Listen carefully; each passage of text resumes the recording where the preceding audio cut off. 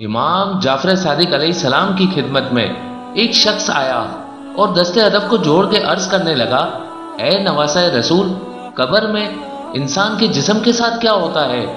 इंसान का जिसम कैसे गलने लगता है? बस बस ये कहना था। तो इमाम जाफ़र सादिक सलाम ने फरमाया, अफसोस है कि इंसान अपने वजूद से ना वाकिफ है।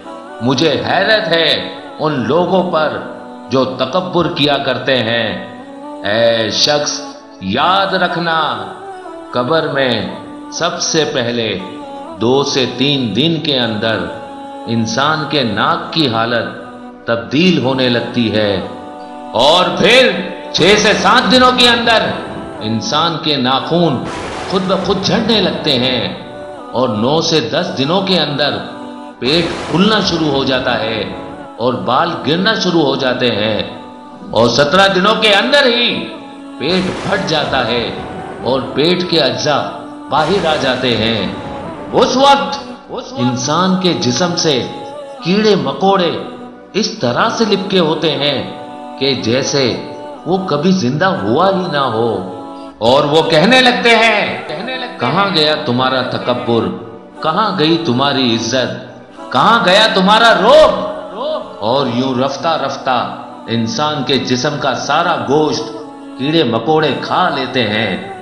और नब्बे दिन के अंदर इंसान के जिस्म की हड्डियाँ एक दूसरे से अलग होने लगती हैं और एक साल बाद हड्डियाँ बोसीदा हो जाती हैं और दो सालों के अंदर हड्डियों का वजूद खत्म होने लगता है।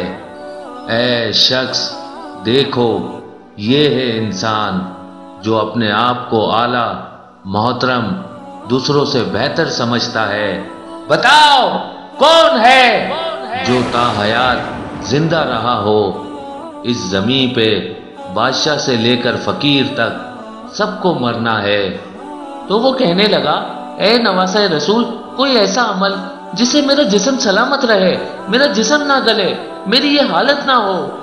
बात जब यहाँ तक पहुँची तो नवासा रसूल इमाम जाफ़र सादिक सलाम ने फरमाया, वो अमल ये है कि तुम तकबर ना किया करो, अपने आप को दूसरों से आला और अजीम ना समझा करो, क्योंकि तकबर सिर्फ़ अल्लाह को जेब देता है।